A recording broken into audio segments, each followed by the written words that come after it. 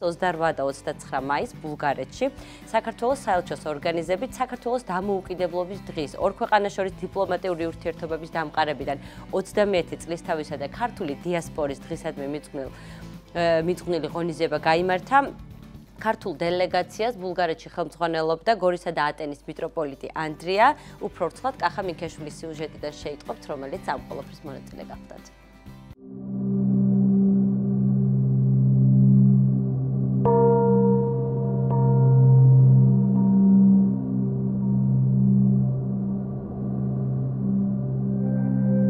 ბულგარეთში საქართველოს საელჩოს ორგანიზებით საქართველოს დამოუკიდებლობის დღის ორ ქვეყანას შორის დიპლომატიური ურთიერთობების დამყარებიდან 30 წლის თავისა და ქართული დიასპორის დღისადმი მიძღვნილი ღონისძიება გამართა.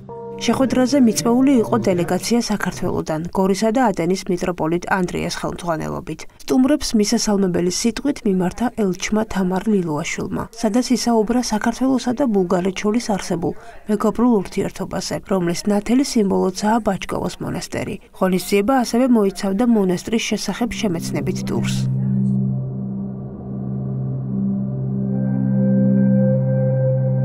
ეს აღმოსავლეთ ევროპაში მდებარე ერთ-ერთი უდიდესი და უძველესი მართლმადიდებლური სავანე, პეტრიწონის იგივე ბაჭკოვოს მონასტერია, რომელიც ქართველმა სახელმწიფო მოღვაწემ გრიგოლ ბაკურიანის ძემ 1083 წელს დააფუძნა. მონასტერი ერთ-ერთია საზღვარგარეთ არსებულ ქართულ სავანეებს შორის, რომელმაც ღრმა კვალი დააჩნია გასული საუკუნეების არა მარტო ქართულ აზროვნებასა და საეკლესიო ცხოვრებას, არამედ ბულგარეთის ისტორიაშიც უდიდესი როლი შეასრულა. მონასტერში 28 მაისს საღვთო ლიტურგია ქართულ ენაზე გორისა და ადენის მიტროპოლიტმა ანდრიამ აღასრულა. წირვის შემდეგ მიტროპოლიტმა ანდრიამ და ბაჭკოვოს მონასტრის წინამძღვარმა ეპისკოპოსმა სიონიმ ერთობლივი პარაკლისი აღავლინეს, რომელიც საქართველოს დამოუკიდებლობის დღეს მიეძღვნა. ის მადლითა და წყალობით და სულაც საქართველოს კათოლიკოს პატრიარქის ილია მეორეს ლოცვა-კურთხევით ჩვენ დელეგაცია ჩამოვიდა ბულგარეთში, რათა მიეღო მონაწილეობა საქართველოს საელჩოს მიერ დაგეგმილ ღონისძიებებში, რომელიც ეძღვნება საქართველოს დამოუკიდებლობის დღეს და 30 წლის იუბილეს საქართველოსა და ბულგარეთს შორის დიპლომატიური ურთიერთობებისა. ეს დღე იქნა აღნიშნული პეტრიწონის ბაჭკოვოს ისტორიულ მონასტერში რომელიც არის დაარსებული მე-11 საუკუნეში და წარმოადგენს ქართველთა და ბულგარელთა სიამაყეს და ერთ-ერთ სულიერ ცენტრს. დღესაც აი ახლა ამ ინტერვიუს ჩვენ ვიწერთ მთავარ ანგელოსთან ტაძრის გვერდით, რომელიც მე-11 საუკუნეში იყო აშენებული და მის ამშენებლად მოიხსენიებენ ალექსეი კომნენოს რომელიც გახდათ იმპერატორი ბიზანტიისა. ძალზე მნიშვნელოვანი არის ქართველთა ურთიერთობა ამ წმინდა სავანესთან.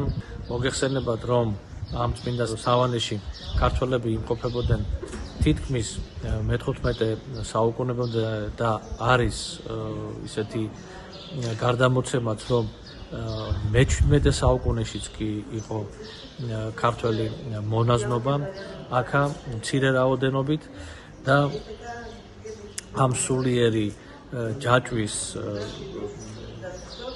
სიცოცხლე ძალზე მნიშვნელოვანი არის ჩვენი ისტორიული მეხსიერებისათვის, რომელიც ჩვენ გაკავშირებს მე არ ვიტყოდი ევროპასთან, არამედ გაკავშირებს ჩვენ უძველეს ქრისტიანულ ცივილიზაციასთან, რომელიც არის ცივილიზაცია ევროპისა.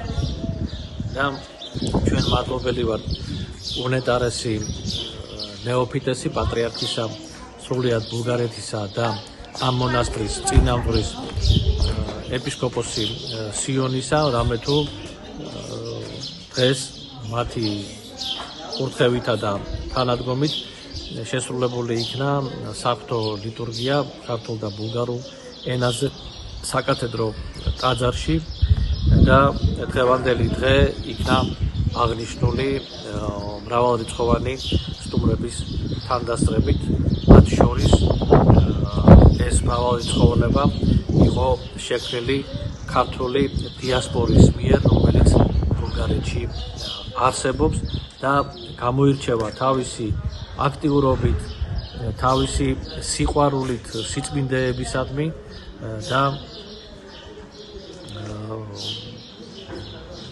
მათი აკოფნა იყო ძალზედ მნიშვნელოვანი. ერთ რაღაცას ვიტყვი.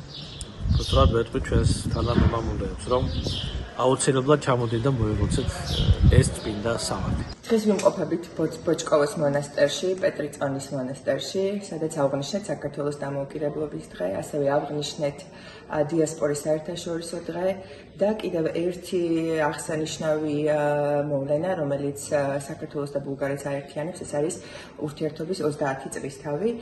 დღეს პირველად გაჟღერდა ბოჭკოვოს მონასტერში წირვა ქართულ ენაზე, რომელიც შეასრულა მეუფე ანდრიამ.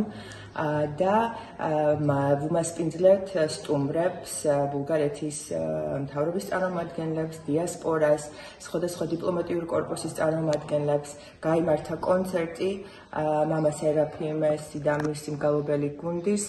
მიხარია, რომ დღეს აი ესეთი უნიკალური ღონისძიება ჩავატარეთ ბოჭკოვის მონასტერში, სადაც ასევე იმყოფებოდნენ ბულგარეთის მღვდელმთავრები, საპატრიარქოს წარმომადგენლები.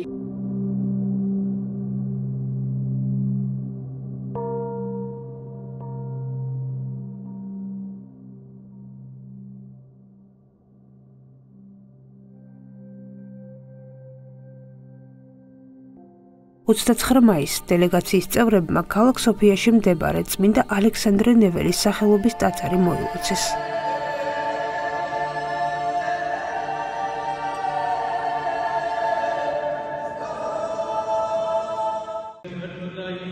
ეკლესიაში ჩატარდა სათხესასწაულო საღვთო ლიტურგია, რომელიც ადგილობრივმა მღვდელმთავარმა, ბულგარეთის პატრიარქის მდივანმა მეუფე გერასიმამ, გორისა და ატენის მიტროპოლიტ ანდრიასთან ერთად აღავლინა. წმინდესიდა უნეტარესი სრულიად საქართველოს კათოლიკოს პატრიარქი და მცხეთა თბილისის მთავარეპისკოპოსი და ბიჭვინთისა და აფხაზეთის მიტროპოლიტი დიდი მეუფე და მამაი ჩვენი ილია ღონისძიებას საქართველოსდან ჩასულ დელეგაციასთან ერთად ესწრებოდნენ ბულგარეთში აკრედიტებული დიპლომატიური კორპუსის წარმომადგენლები, ბულგარეთის წმინდა სინოდისა და ქართული დიასპორის წევრები. მადლობა კახა საინტერესო სიუჟეტისთვის, რომელიც ბულგარეთში ვიზიტს ეძღვნებოდა. ახლა კახა მიქეშვილი გახლავთ სერბეთში, ივერონის მონასტერს სტუმრობს და ჩვენ გვაქვს იმის შესაძლებლობა, რომ პირდაპირ ეთერში ჩავრთოთ. კახა დილომშვიდობისა. დილომშვიდობისა მივესალმებით ჩვენს ტელემაყურებელს და მოგესალმებით ამჯერად სერბეთიდან.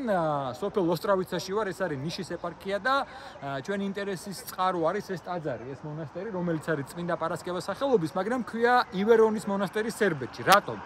ათონის ათონზე მოღვაწე ქართულ მამებს აქვს დაარსებული სერბეთში მრავალი საუკუნის წინ სამწუხაროდ მათი ადგილმდებარეობა, მათი განსასვენებელი არ არის ცნობილი, მაგრამ მოკლედ ჩვენი საელჩოს წარმომადგენელმა სერბეთში მოგვიყვა აქაურობის შესახებ და ჩვენ ვამზადებთ სიუჟეტს და უფრო მეტ შეიტყობთ სიუჟეტიდან ასე რომ დაგველოდეთ.